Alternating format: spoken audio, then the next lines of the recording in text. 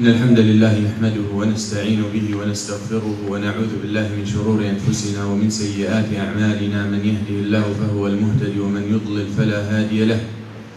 أشهد أن لا إله إلا الله وحده لا شريك له. وأشهد أن محمدا عبده ورسوله.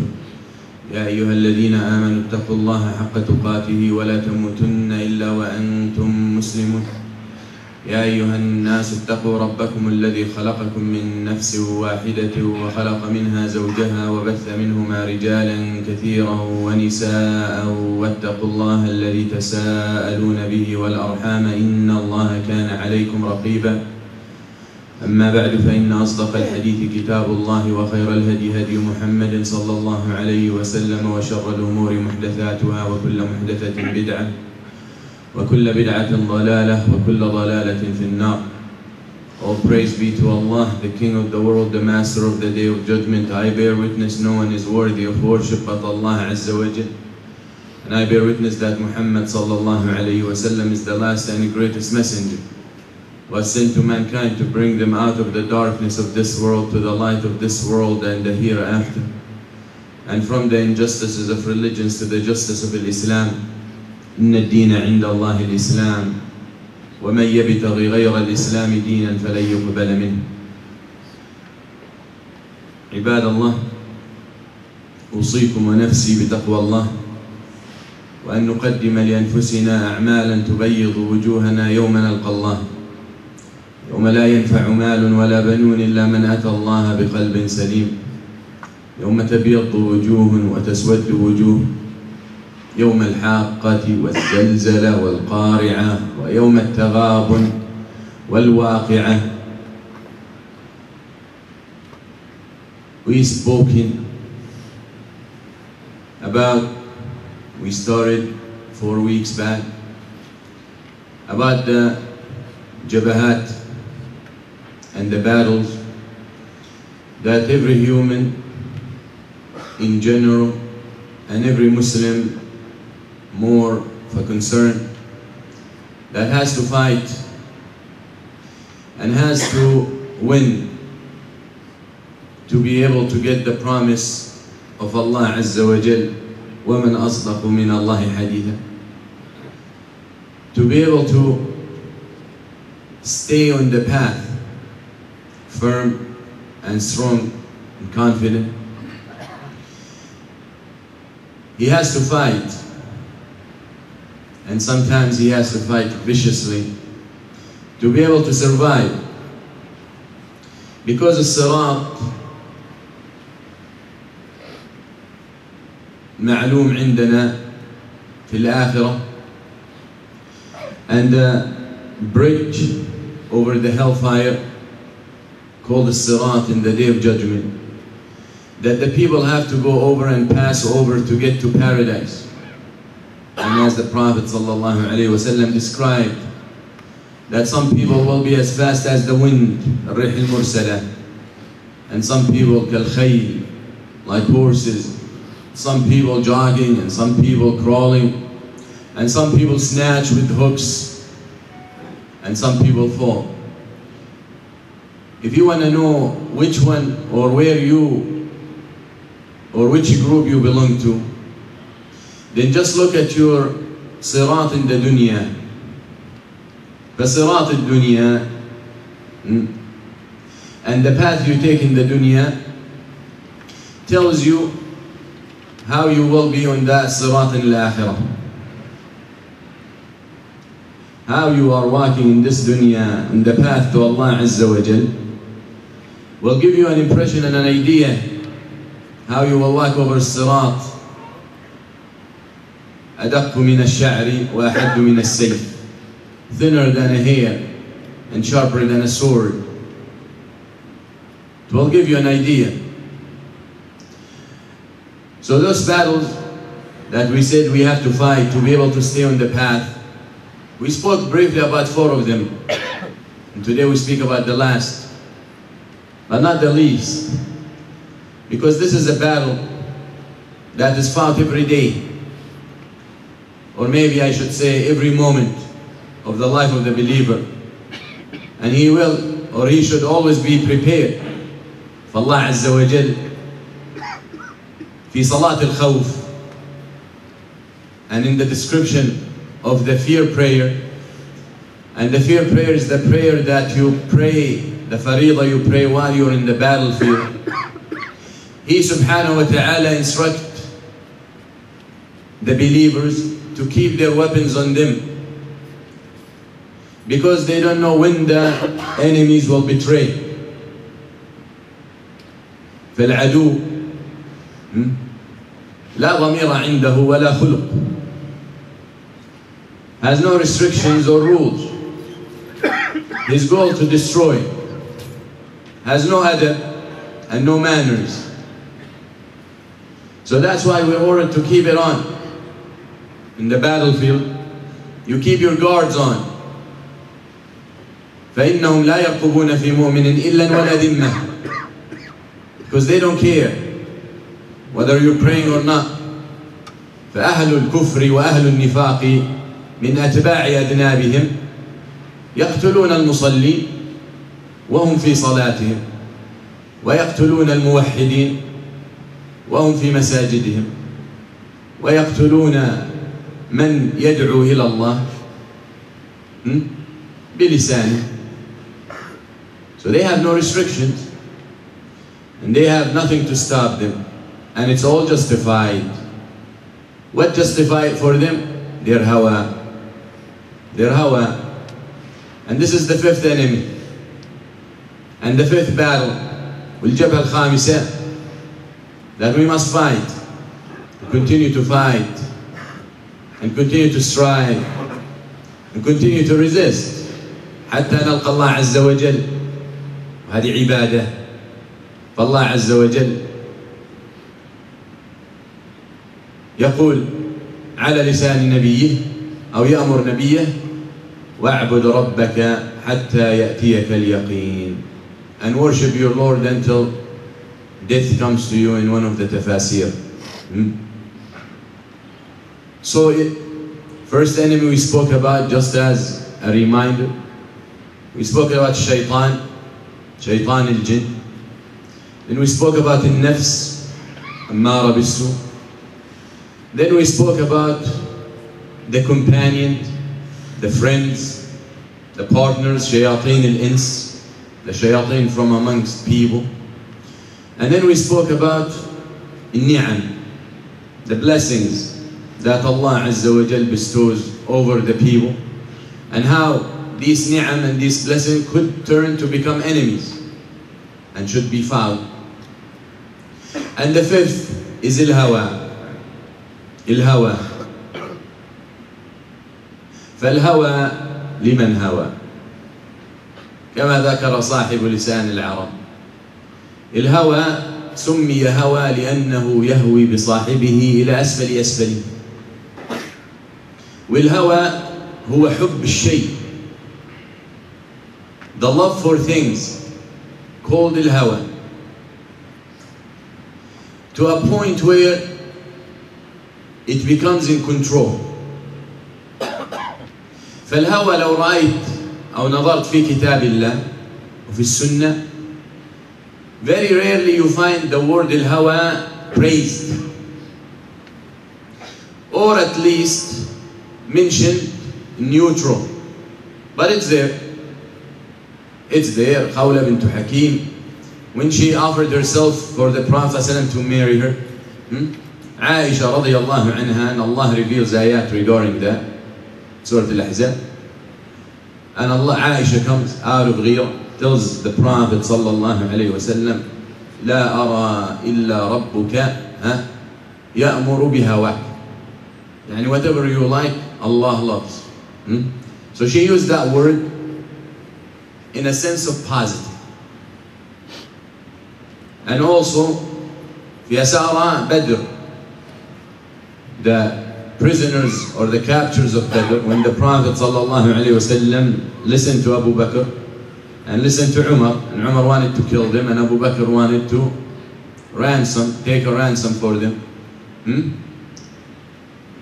فقال عمر ما رأيت أو ما أرى إلا أن النبي صلى الله عليه وسلم هوي رأي أبي بكر أو كما قال You see that the word al-hawa sometimes used neutral positive, but most of the time it's negative, madmuma, vilified and looked down at. And if you look in the book of Allah, you find al-hawa يأتي ضد الحق against or versus the truth. يقول الله عز وجل يا داود إنا جعلناك خليفة في الأرض فاحكم بين الناس بالحق ولا تتبع الهوى Allah tells Dawood to rule and between people and to judge between people with الحق, with the truth, and not to follow الهوى. But you see الهوى here comes in the meaning of or opposite of حق. That's not good. And also الهوى comes opposite of العلم of knowledge. فيقول الله عز وجل to the Prophet صلى الله عليه وسلم ولئن اتبعت أهواءهم بعد الذي جاءك من العلم ما لك من الله من ولي ولا نصير ويقول ولئن اتبعت أهواءهم من بعد ما جاءك من العلم إنك إذا لمن الظالمين So you see الهوى in these ayat comes verses or opposite of العلم knowledge. And also in the Quran comes الهوى في قوله تعالى إن يتبعون إلا الظن وإن الظن لا يغني من الحق شيئا يتبعون إلا أهواهم So the whole thing when it comes to الهوى is to let the love of things take over So as if it becomes an execution of a nafs. Will hawa is called hawa because it takes the person so much down. Because hawa in Arabic, the word hawa as a verb means to go down deep. فالهوى سمي هوى لأنه يهوي بصاحبه إلى أسفل سافله because whoever attaches himself to al-hawa, huh, and whatever him he loves makes in charge of him, will eventually take him down. شوف there is fitra, Allah Azza wa Jal naturally created us with the instincts of loving things. And that is important. It's important to love things. Because there are things you have to love and you have to like to fulfill. فمثلا if you come to the idea of marriage and of intimacy with your partner طبعا الحلال if you had no desire for that then there will be extinction people will not exist anymore so Allah Azza wa Jal instilled that desire in the hearts of the people so they can't get married. When do you think about it? Why Allah Azza wa Jal made that intimacy so desired? And very few people can resist it. And in Islam, that is only fulfilled through marriage, very much. Why Allah Azza wa Jal made it so much desired? Because what comes with marriage, a lot of obligations, a lot of responsibilities, duties, children, spending, taking care of, raising, looking after. These are too many responsibilities that the person will run away from naturally, doesn't want to be dealing with. So had that intimacy and that feeling for that desire been low, then a lot of people will manage to avoid it. And why am I going to get myself into all that? Amma when it was so strong of a desire, all of us close our eyes and we're happy that day we get married. Even though what comes after it, a lot of responsibilities. And if you were to compare the time of intimacy in a marriage to the time you spend fulfilling responsibilities, fraction. That's why Allah Azza wa Jal hmm, divide things. So al-hawa, to go back to al-hawa, takes the person when he starts being attached to the extreme. فالله عز وجل says in the Quran زين للناس حب الشهوات من النساء والبنين والقناطير المقنطرة من الذهب والفضة والخيل المسومة والأنعام Allah Azza wa Jal made us in a way to like things. Men like women, women like men. People like to have money, people like to have children. Natural things.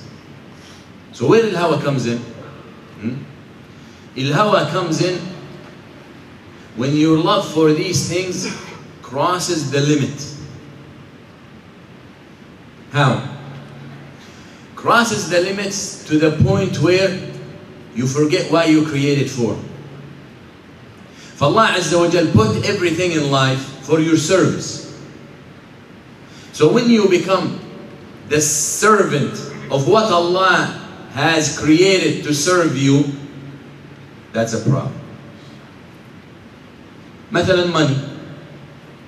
Money, Allah Azza wa Jal created money hmm, To serve you. Money should be huh, in your hand to use. How many people deal with money that way? Some people go so much beyond where the money becomes the master. Dictates how he should live. It's the money that dictates what actions he should take. If I take this way, I'll make a million. If I take that way, I make 10. So I'm going that way. So it's really that determining factor was how much money you're gonna make, not the way, not the means.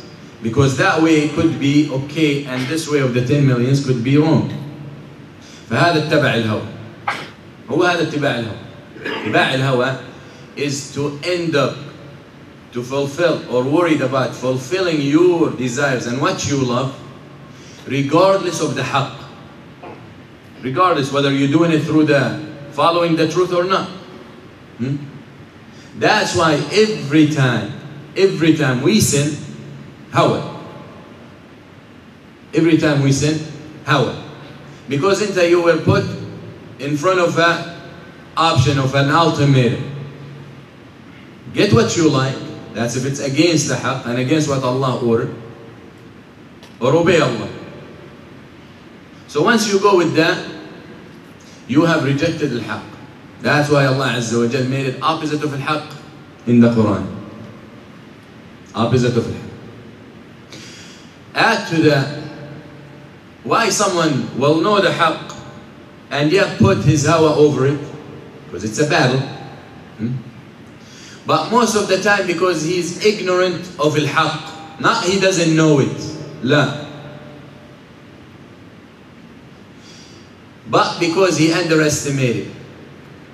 Allah Azza wa says to do this, and then my hawa says to do that, and it's, it's opposite of what Allah wants. Because of his ignorance of the status of Allah and what Allah deserves, he ended up putting his hawa before Allah. Had he known what Allah is and who Allah is, he would not even think twice to disobey him. As a problem. That's why Allah Azza wa Jal put il-hawa opposite of il-ilm. Opposite of il-ilm. Allah Azza wa Jal says what?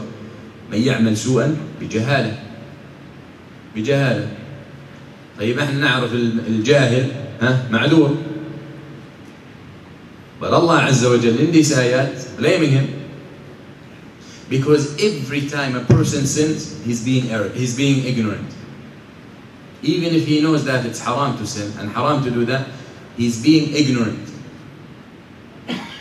But not the ignorance that is against the ilm, because he knows. He knows.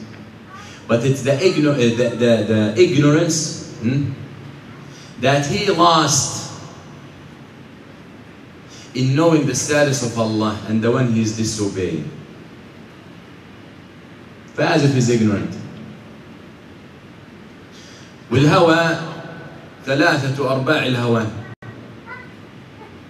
شوف الهوان when you become of no worth you become of no worth in this world وانت ان رايت كلمة هوى وهوان هوان أربع أحرف وهوى ثلاث أحرف ثلاث أربع. هوى هوان. يلا. ها واو يا ألف. فثلاث أرباع الهوى هوى اتباع الهوى. Three quarters of being or becoming أسفل سافلين is when you let your هوى in charge. فأنت تصير عبد. You have no word you're a slave when you put that which you desire and what you like before anything you're a slave you're a slave you have no control. And the slave usually humiliated hmm? he has no opinion. He doesn't make decisions He's, he does what he's being ordered to do hmm? كله باتباع الهوى فالله عز وجل يهين من اتبع الهوى hmm? because الهوى شريك الهوى becomes a partner كما قال ابن عباس hmm? الهوى إله يعبد من دون الله ابن عباس رضي الله عنهما says الهوى is a god that is worshipped along with Allah or without Allah. How? قال الله تعالى أرأيت من اتبع هواه أو أرأيت من اتخذ إلهه هواه Have you seen the one who made his hawa his God? Hmm? But obviously, il-hawa becomes so powerful that you become a slave of it.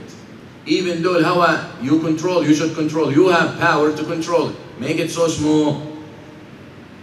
Or if you make it so big, it becomes your God. So your driving force for things is your hawa. Even might be your ibadah. Hmm? There is a difference between someone who comes to Jum'ah because it's ibadah to worship Allah and who comes to Jum'ah because he likes the gathering and he likes the food that is sold after Jum'ah. Hmm? And he likes to hang out. Hmm? And he, it's a break. Something different every week. هذا لا يثاب. So you can see الهوى is one of the reasons to destroy the deeds. Hmm? الهوى يحبط العمل. يحبط العمل. so in this context, you see al-hawa opposite of al-ikhlas. Why I'm doing it? For what reason? Especially when it comes to al-ibadat. This is a very dangerous point. And it's very ambiguous line. That the person could be right in it, in doing things that usually done for Allah and he thinks he's doing it for Allah, but actually he's doing it for his help. It's satisfaction for him. نسأل الله العفو والعافية. Because that is a disaster. Imagine someone who leaves everything in the dunya. The pleasures of the dunya, he doesn't care. And he dedicates himself to work for Allah. But if he would search into himself, he will realize that the work he's doing for Allah is for his self-interest. And he's not being rewarded on it. Disaster. خسر الدنيا والآخرة. لا حول ولا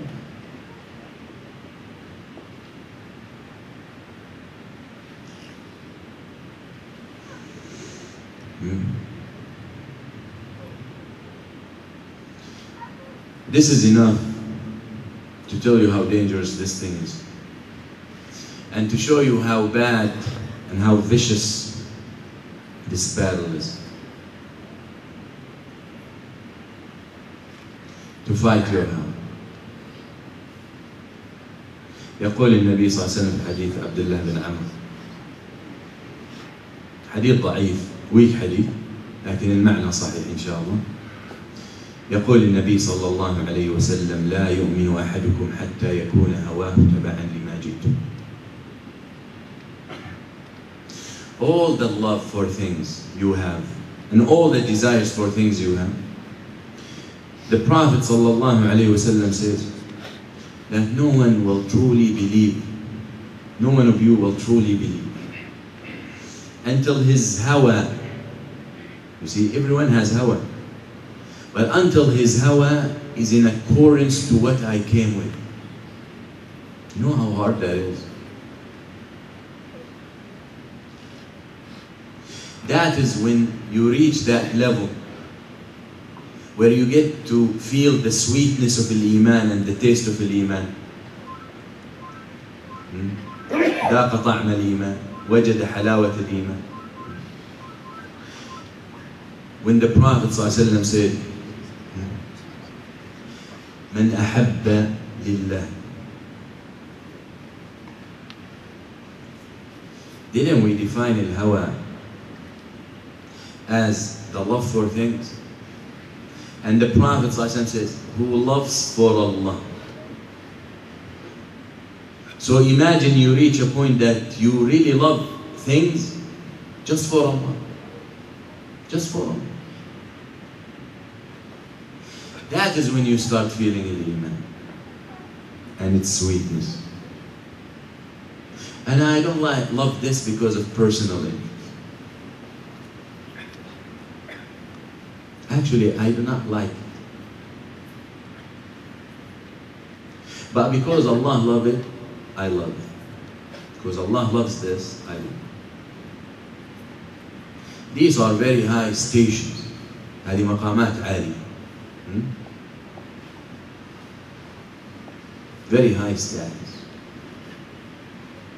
فأبو أيوب الأنصاري رضي الله عنه since the Prophet food, food comes back untouched untouched he's scared Prophet am angry with me he goes to him Ya Rasulullah I send you food he said it has God وإني أناجي من لا تناجي it's God and I speak to the angel I speak to Jibreel hmm? speak to Allah and I don't like garden. So Abu Ayyub radiallahu said, and I don't like it either from now on. Immediately. From now on, I don't like it because you don't like it. Anas radiallahu anhu, Jabir, hmm? Anas sitting with, to eat with the Prophet, and the Prophet looking in the soup for a dubban, for that kind of pumpkin. And he said, I'm looking for it too, and put it in front of him. He said, since then, and I love to eat a dubba. Well, he didn't like a dubba before. It wasn't a big deal. He wouldn't go buy it to cook it because he's desiring it. But when he realized the Prophet ﷺ loves it, he started loving it. Hmm? And تحب لله تبغض لله. But do not put the hawa in charge of you. There is no such thing as no hawa. The hawa exists in each one of us. The love for things exists. But now the task is how I control it. And how I only use it and allow it in what Allah approves. That's the battle. Hmm? So continue to be the boss and the master. Don't turn to become the slave. أقول قولي هذا واستغفر الله لي ولكم فيا جمع المستغفرين استغفر الله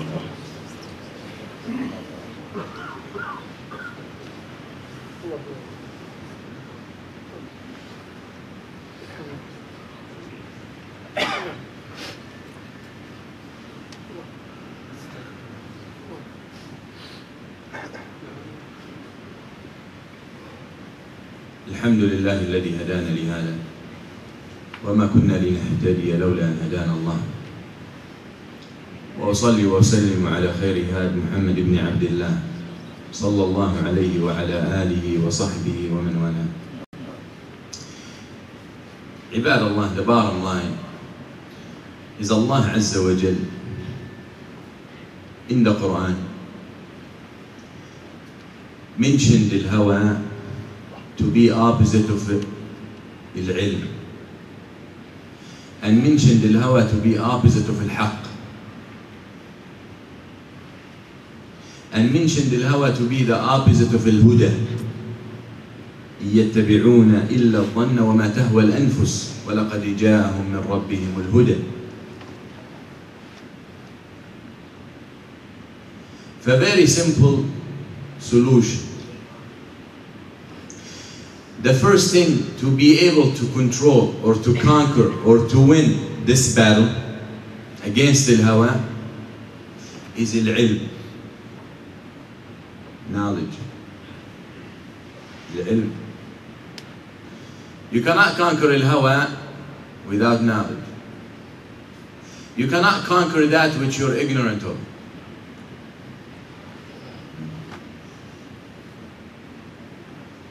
That's why they say, know your enemy. Know the language of your enemy. Know the tactics of your enemy. Know the mentality of your enemy. To be able to think and to see how he thinks so you can be prepared. Wallah Azza wa Jal tells us about the hawa. And the Prophet ﷺ tells us he was sent for that. To show us how we should not fall for al-hawa so we forget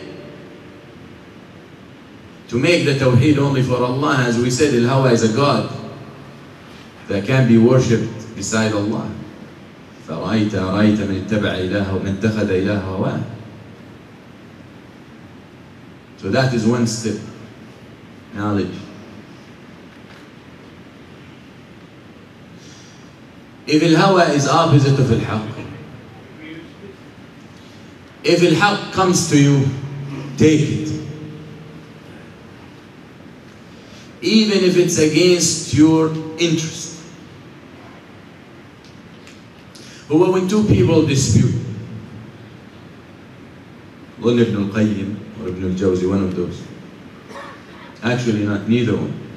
هو سيد رحمه الله تعالى في الظلال he said the dispute between people, the differences between people is not the cause of the dispute. It's not the cause of animosity and grudges and hate. It's not the differences because people are created different. It's not the difference of opinions. It's not my view on things because they're different than your views that causes the dispute. La. What really causes the disputes and the hate and the grudges amongst the people, it's not because they're different. But because one of them is rejecting the truth.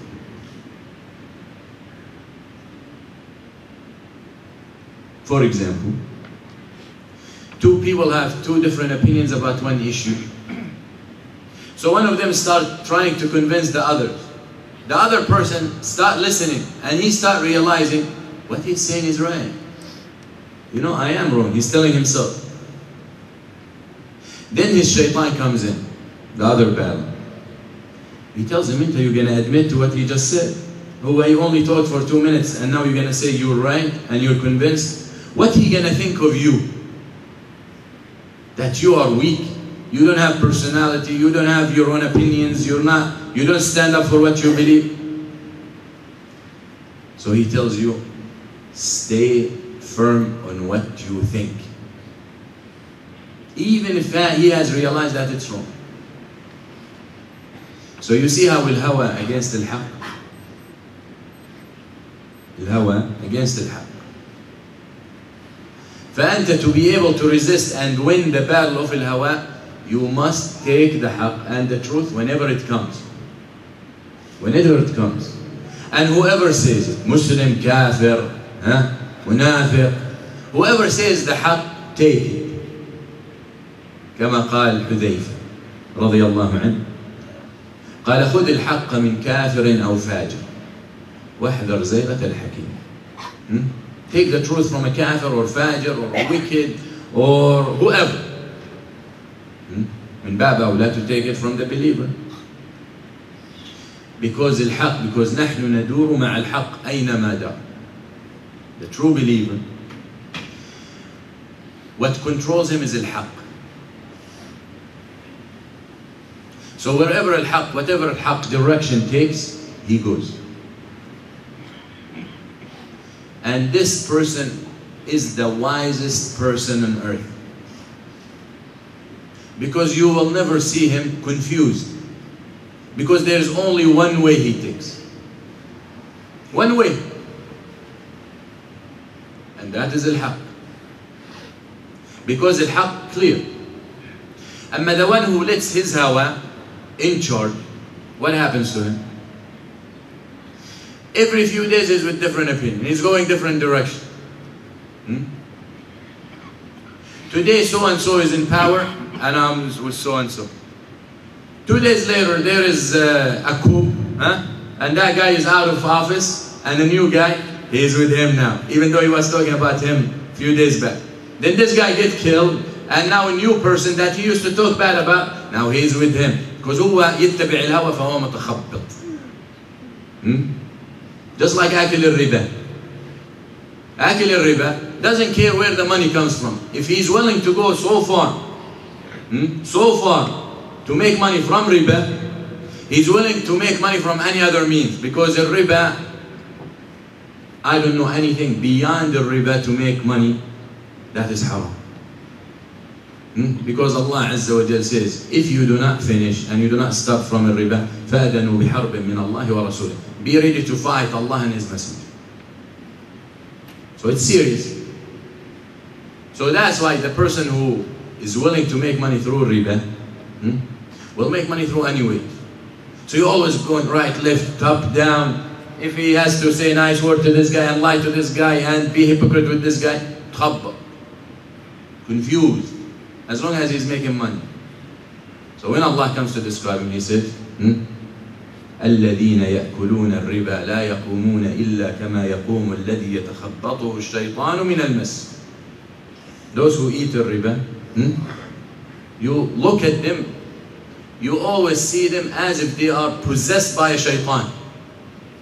So they have no control. Shaitan controls them where to go. Hmm? So he will be sitting with you eating, and then he will suddenly scream. Because shaitan is in control. Hmm? He will be laughing and start crying. Shaitan controls, so who are confused? Amma when the person follows the haqq, does not look confused. He is the wisest person on earth. That's why al-hawa is the opposite of al-haqq. And the last thing, al-hawa is opposite of al-huda. You learn, you seek knowledge, you know what's right and wrong. You follow the truth regardless of when it comes and how it comes. You are guided. You're guided. You are on the truth. Hmm?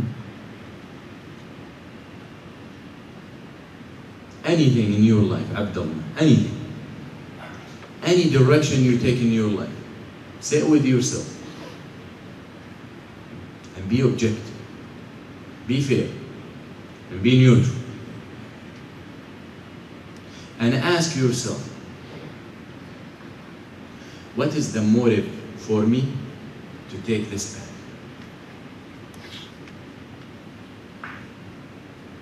You will get the answer so clear if you are following the hawa or following al-haq. So clear. Because every time you ask yourself that question and the answer does not come back, Allah, why I'm taking this, why I'm supporting this person over this person, why I'm going with this opinion over this opinion, even in fiqh, even in the deen, why I'm doing this opinion over this opinion. If the answer does not come back as Allah, you're following it up. You see how dangerous it is? And most of us will be scared to sit and ask those questions to ourselves. الله المستعان.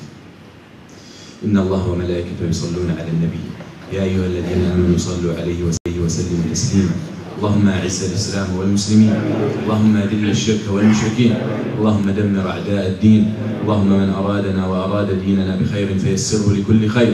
اللهم من أرادنا وأراد ديننا بشر فخذه أخذ عزيز مقتدر. اللهم اجعل تدبيره تدميره واجعل دائرة السوء عليه وارنا فيه أياما سودا اللهم ردنا إلى ديننا ردا جميلا. اللهم أصلح نساء المسلمين. اللهم أصلح رجال المسلمين. اللهم أصلح أبناء المسلمين. اللهم أصلح بنات المسلمين. اللهم أصلحنا أجمعين يا رب العالمين. اللهم اغفر للمسلمين والمسلمات والمؤمنين والمؤمنات. الأحياء منهم والأموات. اللهم اغفر لهم وارحمهم وعافهم واعف عنهم واكرم نزلهم ووسع مدخلهم واغسلهم بالماء والثلج والبرد ونقهم من الذنوب والخطايا كما ينقى الثوب الأبيض من الدنس. اللهم ردنا إلى ديننا ردا جميلا. اللهم اجعل الحياة زيادة لنا في كل خير. اللهم اجعل الموت راحة لنا من كل شر. عباد الله إن الله يأمر بالعدل والإحسان وإيتاء ذي القربى وينهى عن الفحشاء والمنكر والبغي يعظكم لعلكم تذكرون. وأقم الصلاة. Thank you.